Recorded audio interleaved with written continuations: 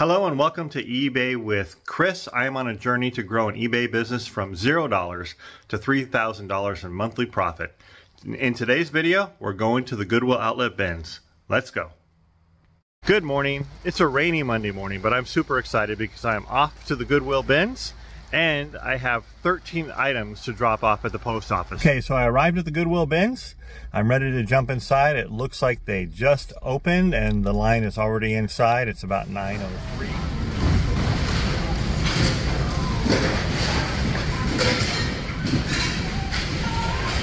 Okay, so I'm done with the Goodwill bins. It was a good day. Uh, it's about 1:45 right now, so I was in there for, oh boy, four hours and 45 minutes. I spent a total of $114.53 on 61.5 pounds of clothes. Now I have no idea how many items I got. Uh, we'll find out when okay, I get so home. I'm home, I'm back from the bins. I thought it would be fun to look at some of the stuff that I got. Are you guys ready? Let's do it. Okay, so for the first thing I got is this uh, Vans hoodie.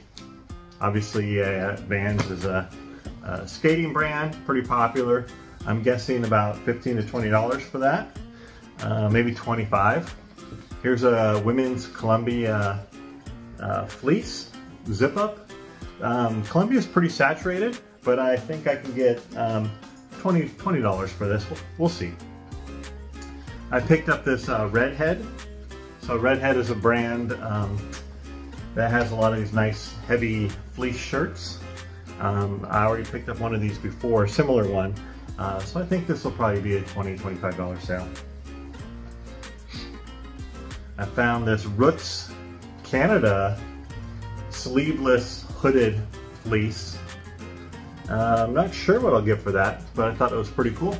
So we'll see.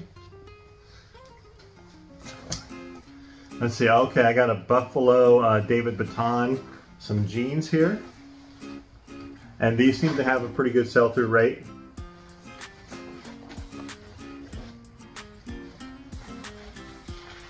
This was, oh, Volcom. So Volcom is another skating brand, and these are some pretty cool uh, shorts. I'm not sure what I'll get for them, but um, I think they'll they'll sell. Mostly what I'm looking for right now is stuff that'll sell through fast, somewhere in the $20 range. Um, that's that's kind of what I look for. The first thing that I look for is the sell-through rate. Here's Billabong. Speaking of sell-through rate, this probably is um, more of a long tail item, um, but I thought I'd give it a shot and see how the brand does. And then I also picked up another Vans hoodie. Got a pretty cool graphic there. Although the graphic is a little bit worn, um, but I thought it would do pretty well. It's a good size too. I think it's an extra large. Okay, this one uh, this one, actually, I don't even know the brand. It's not on there, but the camo with the flag pocket is really cool. So I'm just gonna use those kind of keywords. Um, this is a new to me brand. It's called LA Idol USA. Um, I don't know much about it, but it looked like the sell-through rate was okay. It didn't seem to have a lot listed, um, but I thought it would sell, and I think this is like a $35 uh, pair of jeans. Uh, I picked up a Callaway, just a, a golf shirt. And again, I'm, I'm new to this, so you know, none of these are, I would call them bolos or be on the lookouts for. This is just me learning, uh, doing a lot of research, and uh, sometimes I make mistakes. Uh, for example, this pair of pants that I'm looking at right now. I totally missed that. the back pocket is ripped out. Oh my goodness, Chris. Um, but these are called uh, Day Trip. They're uh, bootcut jeans and bootcut I think are popular, but obviously this is gonna go in the trash. Oops. Uh, here's a, uh, a Torrid shirt. Torrid has a pretty good sell-through rate as well. So when we look at sell-through rate, we're looking at uh, how many items, similar items are listed right now currently, and then how many um, does eBay show sold in the last 90 days. So if it's like 100 listed and 100 have sold, that's a really good sell-through rate. That means your item is probably gonna sell within 90 days. This is a Nike uh, cowl neck hoodie. Let's see, here's a pair of Dickies. So anytime I can pick up uh, Dickies pants, they go pretty fast. So I'll pick them up uh, no matter what color or size. Uh, so far I've sold several of them, so I continue just to pick them up. Got uh, some, oh, some Lucky Brand jeans. Uh, these do have some uh, cuts in them. I think these might have been done uh, by the previous owner, but I don't think that was going to take away from the value of them. Lucky Brand jeans are um, move pretty fast as well. I picked up a couple bicycle shirts. This is the first one here. Uh, this is a SDP 2002. Uh, we'll see how this one does. I'm not sure, but it's super light, um, so easy to list. I think uh, you know my cost on these shirts. Oh, here's the other one. Is you know maybe 50 cents, 75 cents. So I pay. Um, I bought more than 50 pounds today, so that means my buy cost per pound is $1.69. Uh, here's a Wrangler um, kind of heavy uh, shirt, I guess. Some people might call it a jacket, so I wasn't sure if I should call it a jacket or a shirt. Uh, oh, here another pair of Lucky Brand jeans. Okay, I got a, a uh, Nike. This is a Nike, uh, just kind of a pullover, uh, quarter zip. Uh, I think it's Nike Golf actually. So perfect uh, golf season. I've already sold a couple of uh, Nike golf items, so whenever I see them, I grab them. Uh, this one I'm not quite sure about. This is a No Fear hooded uh, sweater type thing. Um, I did look up this, the No Fear brand, and the sell-through rate was um, pretty good. Uh, and they seem to be going for like $40. So we'll find out. A couple more items in this bag. Ah, this is a, what is this here? Oh, Faded Glory. So, so Faded Glory is not a brand you want to pick up. The only reason I got these is because of Carpenter jeans and they're lined. So that's going to be the keywords I focus on is the lined Carpenter jeans. Um, and they're in pretty good condition. So these, this is basically workwear. That's another keyword I'm going to use to, to uh, um, help people find it. Although it is getting into the warmer season, so they might sit over the over uh, the summer. We'll see. Uh, here's a pair of Wrangler uh, Q Baby Q Baby jeans. Um, these seem to have a pretty good sell-through rate as well, and prices were in the $35 range. So the first thing I look for is sell-through rate. That's what I want to see, a good sell-through rate, and then um, uh, if the sell-through rate is not good, but the prices are really good, then I'll, I'll, take a chance on it and let it, knowing that it could possibly sit.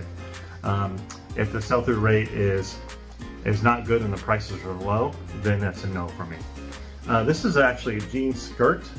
Um, Cabi is, a, is the brand. I'm not too familiar with it, but there was probably like 50 listed and about 50 had sold recently.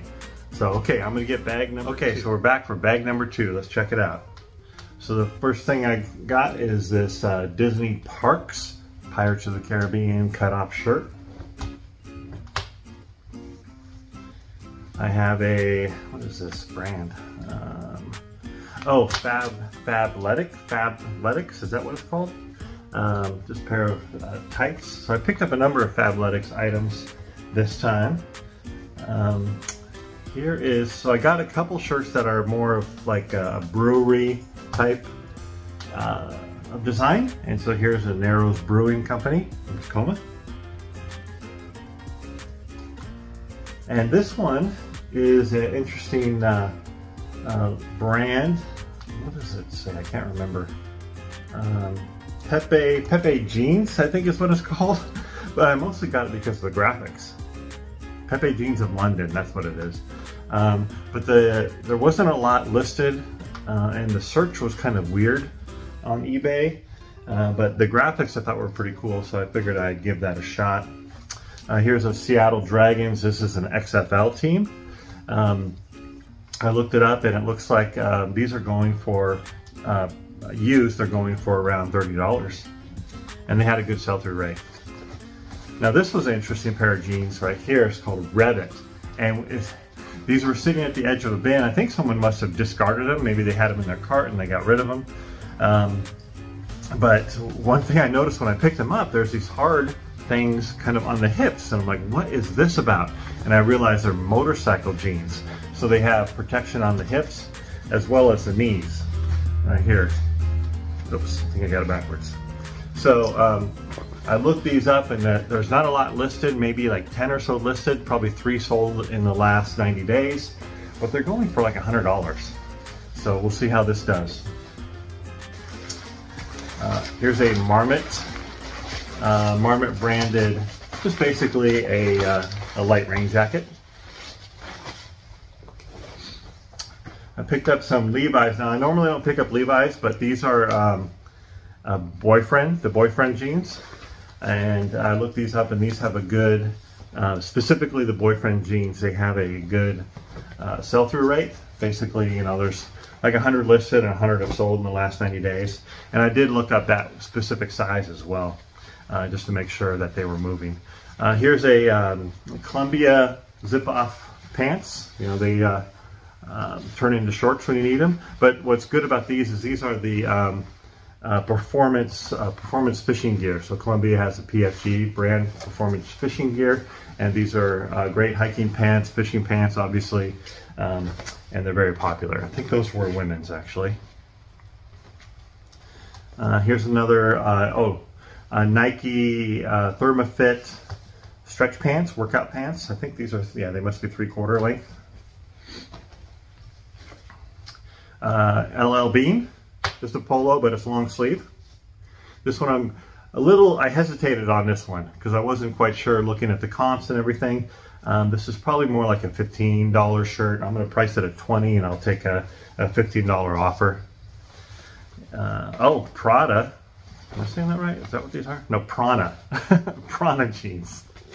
Um, these are pretty popular as well. As soon as I saw the brand, I just grabbed them. They're like a micro corduroy. Look at me learning all these uh, clothing terms.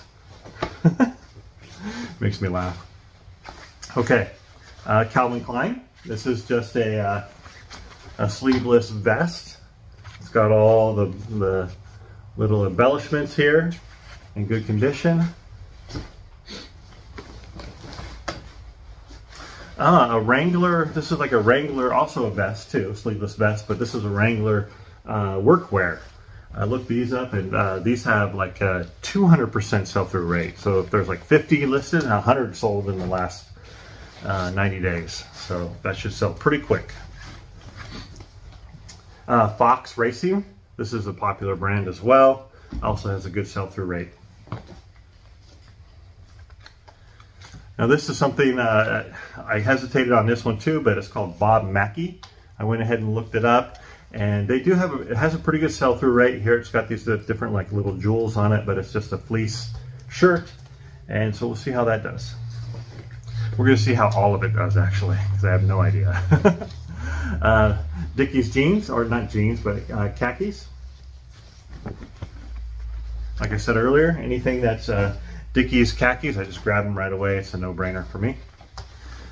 Um, here's some uh, Hurley, yeah, Hurley swim trunks. We're getting into that season, so these should uh, go off, fly off the shelf here pretty quickly. Uh, 32 degree heat. So I've actually had good luck with this. These uh, these are typically like 90% down. They're super light. Um, this is a women's. Uh, these for me, um, in my short time of selling, have sold pretty quickly. This is kind of fun. A Darth Vader um, hoodie. Just kind of a plain hood though, it doesn't have like the Darth Vader helmet. Um, but this had a good sell-through rate um, and sold for pretty good as well. This is a, another brand that I've been picking up. This is called um, Empire. I picked up a corduroy pants and a couple other, this is a skating brand. So um, has, this one actually has really good graphics. See that? It's pretty cool. So I think this one will sell pretty well as well. I got this Adidas hoodie and actually I threw it back, but then I went back and picked it up. Um, there's a ton of Adidas on, on eBay right now, um, but this one is a little bit different. It's not the standard look. So I'm just hoping that someone will see that and want it. I mostly grab these because they're pink flamingos, and why not? Swim trunks, swim trunks. Uh, Victoria's Secret uh, pink, just a kind of a crop um, sweatshirt. A jacket here. This is a oh Calvin Klein women's jacket. I got a uh, some kind of a fleece here. What is this? I can't remember. And I'm not seeing the brand it. Where'd it go? Okay, well I got this for some reason, but it's a fleece. I'll have to do more research on it. And this one's a no-brainer. I got it as soon as I saw that tag, I just grab it. Carhartt. And it's got the Carhartt on the sleeve. This one will go fast. Okay, let's get into bag number three. Okay, so this is probably the score of the day. Now, typically when I'm in the bins, I just basically will go to go to a bin that's been out for a while, and I'll go through every single thing in that section that's right in front of me, all the way down to the bottom. And that's where I'll find a lot of the smaller things like uh, the shorts and maybe a Nike uh, uh, golf polo, that kind of stuff that uh, gets overlooked when people are um, flying through the bins and looking for the big ticket items. So typically what happens is uh, they will roll out another set of bins and they'll say go and everyone will dive in. And when that happens, I'll jump in there too. Um, but I typically don't find a lot during that kind of mad rush because everyone's looking for the big ticket items. They're looking for things like North Face, Carhartt, you know, anything that is like obviously big money. Um, but most of my time is spent uh, just digging through, slowly digging through, looking at all the brands, looking things up, learning as I go. And I find a lot of like things that are missed. Um, and, but this time I got lucky. So I found a North Face, look at this, North Face full on, full length women's coat. Probably uh, $150. So I'm pretty excited about this one. Okay, uh, Juicy Couture. Again, this is at the bottom of the bin. Um, another uh, Under Armour. Oh, this is an Under Armour women's jacket.